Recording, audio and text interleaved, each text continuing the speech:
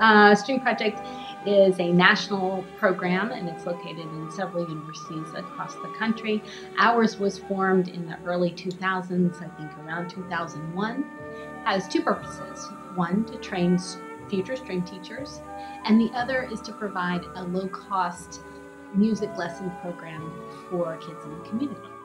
So our, our string project is most closely aligned with the Suzuki method. We are striving to develop the students' ears um, before they get to the music reading portion of their learning.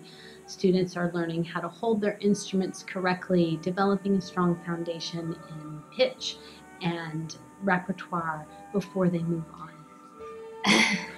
Our level one and level two students meet twice a week, one time in a big group with other students, and then another time during the week, either in a private lesson or in a small pod of two or three students.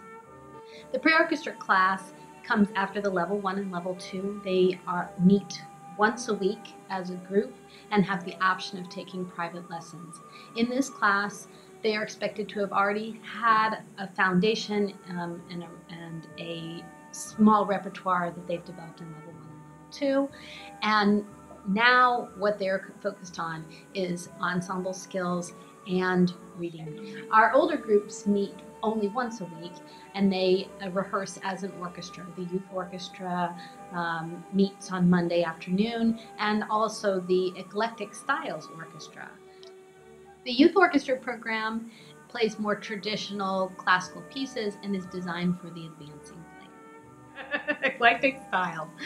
Eclectic Styles is our newest group, and they play pieces that are outside of our of the typical classical realm. They're playing rock, they're playing fiddle, jazz, a little improvisation, and they're having a ton of fun doing it.